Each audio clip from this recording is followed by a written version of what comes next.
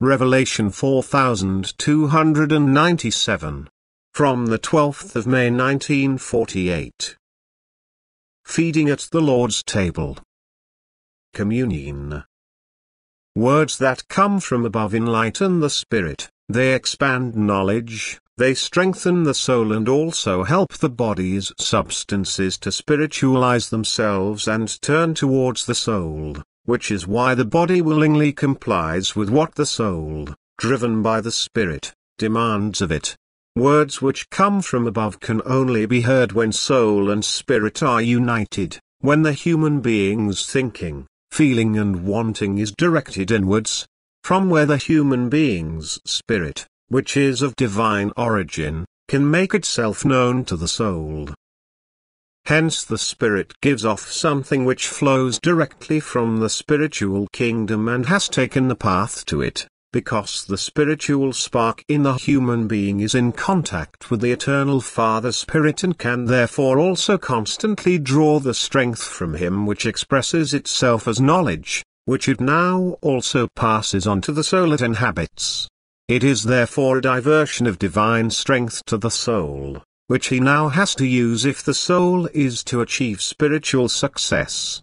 It must receive the word from above and let it have an effect on it, and the effect of the divine word will be an impulse to act in love. Then, therefore, the soul will also have influenced the body to join the spirit's will, and the loving human being will thereby establish direct contact with God, who will now work in him through his strength of love. This is a process which is so easy to understand if it is explained to people correctly and which nevertheless requires the working of the Spirit in the human being in order to be understood.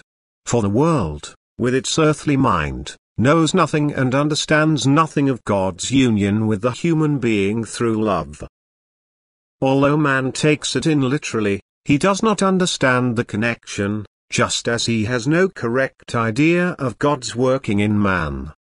He explains the latter to himself with clear intellectual thinking but he does not recognize direct word transmission, which proves that he does not believe in the working of the Spirit and consequently also does not know that and how God's Spirit expresses itself in the human being.